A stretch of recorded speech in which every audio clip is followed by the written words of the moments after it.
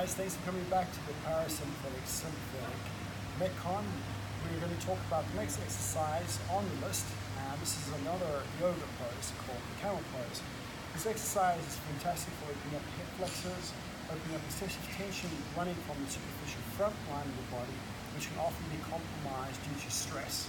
So it's a great stress reliever if you can get into it.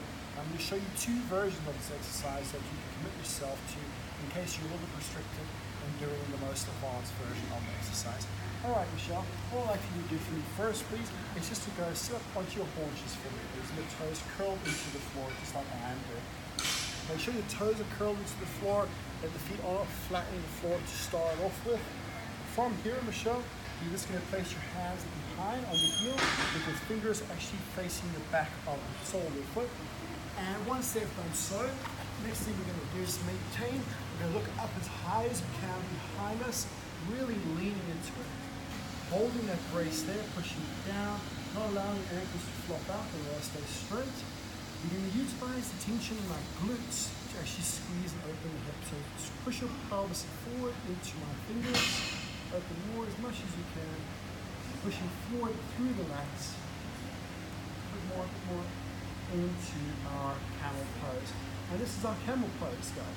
This is a more advanced version of camel pose. You can take it a step further uh, way we do that is we go back into horses again with me, Michelle. Just place the feet flat down for me with the soft body foot over here. This is a more advanced version because it brings you closer to the floor, which causes more a need recruitment to lengthen the, the lats or to push down with the lats to lengthen the hips and the spine a bit more. So this is a more advanced version. Same thing, you put the palms of your hands down onto your shoes first. So you really want the, your palms not to be any gaps between your palm or the sole of the feet. Look up and behind you as much as you can. Once you're there, squeezing the bum, pushing the pelvis forward as much as you can, and extend forward for us. A little bit more, a bit more, a bit more, a bit more, a bit more. Pushing down the hands a bit more, and squeeze bum, hold. And that's the more advanced version. Now, for us guys that are a bit bigger, uh, or for those girls that are just a little more stiffer than usual, one way you can actually get around this is by doing a unilateral version of this.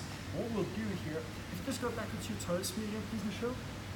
Uh, place your one heel of your hand on the heel of your foot, just the one. And what we do with the other arm, you're actually going to extend the other arm up and behind you, trying to uh, replicate the movement of what you're trying to do with your spine. And then you're going to extend your hip off of the heel, holding it unilaterally. And that allows for the spine to rotate slightly to one side, so you can push off the heel more so with one side of the lat if you're a bit more restricted around the thoracic cage. Guys, thanks again for tuning in to another installment of the Metcon workout plan, and stay tuned for our upcoming exercise.